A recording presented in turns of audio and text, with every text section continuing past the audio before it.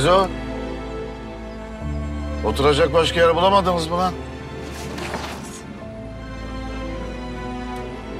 Bir gün öyle bir tokat yiyeceksin ki cumo. Düştüğün yerden ayağa kalkamayacaksın.